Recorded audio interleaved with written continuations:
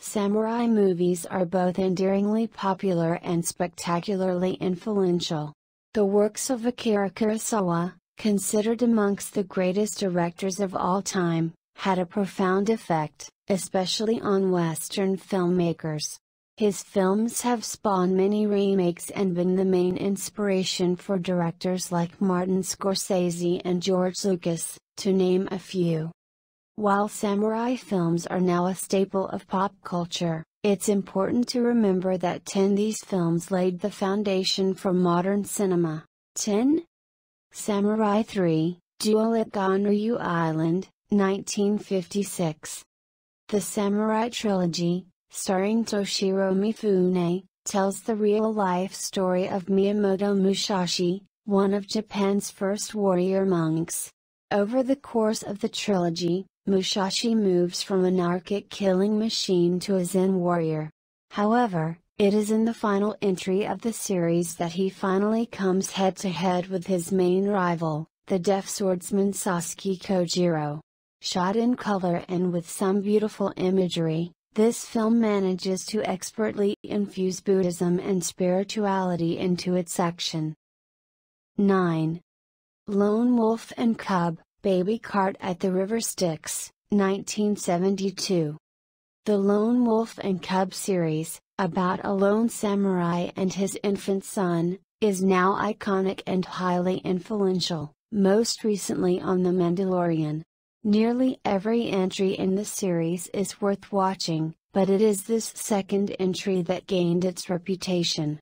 A step away from the refined samurai films of old, this movie takes glory in its extreme gory action. The story is simple Lone Wolf must assassinate three deadly killers, but the fights are pure entertainment, often ending in the torrents of gushing blood so loved by Tarantino. 8. Sword of Doom, 1966. Starring the legendary Tatsuya Nakadai, Sword of Doom is a fantastic anti-hero story. A legendary swordsman, full of arrogance and vanity, walks the path of death killing mercilessly as he goes, until one of his victims swears revenge. It's a classic rise and fall story with the protagonist learning that his time at the top will only be fleeting, there will always be another who will seek to challenge his place. It's also a philosophical study of mortality and purpose, questioning the audience on how they can support such a violent man. 7. The Hidden Fortress, 1958.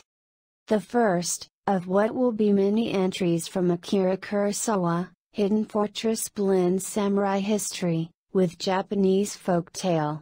Two men, caught on the wrong side of a battle, are sequestered into helping a charismatic general transport a princess to safety. One of the biggest influences on Star Wars, direct parallels can be drawn to characters like C3PO and R2D2, as well as some imagery and plot points. It is a classic example of adventure storytelling, that was often repeated. 6. Throne of Blood, 1957. An adaptation of William Shakespeare's Macbeth, the film changes the setting from Scotland to feudal Japan with Toshiro Mifune as a crazed warlord.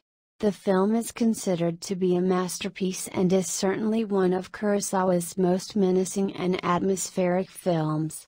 Characters slip in and out of mist with danger ready to jump out at any second. The central murder becomes an almost visceral presence in the film, with pressure building until a huge climactic battle, influential on all future Shakespeare adaptations. 5. Yojimbo, 1961. A lone samurai finds himself in a town full of crime and bandits. His behavior towards the residents, at first, makes him seem as bad as them but then it becomes clear he's here to clean up the town. 4. Ran, 1985. The final samurai epic from Kurosawa, and the only time the legendary director received an Academy Award nomination. Another take on Shakespeare, Ran follows three warring sons in feudal Japan, each battling to claim their warlord father's inheritance. Nearly every shot looks like a painting as this was one of the few Kurosawa films to be shot in color. A dynamic that the director utilizes to perfection when creating his images. Watch it for the battle scenes, in which hundreds of extras charge across the screen at each other, an epic of epic proportions. 3. Samurai Rebellion, 1967. Two massive stars, Mifune and Nakadai, are cast as rivals in this classic anti-samurai film from director Masaki Kobayashi. Beginning in a time of peace, the film offers a critique of the lofty ideals of the samurai. It shows the characters as skilled but prideful people who, when conflict arises, throw everything away for the sake of honor. With fantastic performances and stunning imagery, this classic film shows how quickly, and tragically, the world can turn to chaos. 2. Seven Samurai, 1954.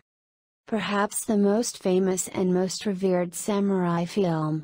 Seven Samurai, which was later remade as The Magnificent Seven, remains enduringly popular to this day, and it's not hard to see why. Arguably all the cinematic tricks used to build teams of superheroes in modern comic book movies began with this film. Each of them multiple characters are distinct and well developed. Kurosawa used innovative staging, set design, and camera techniques to establish the men as the beating heart of the film.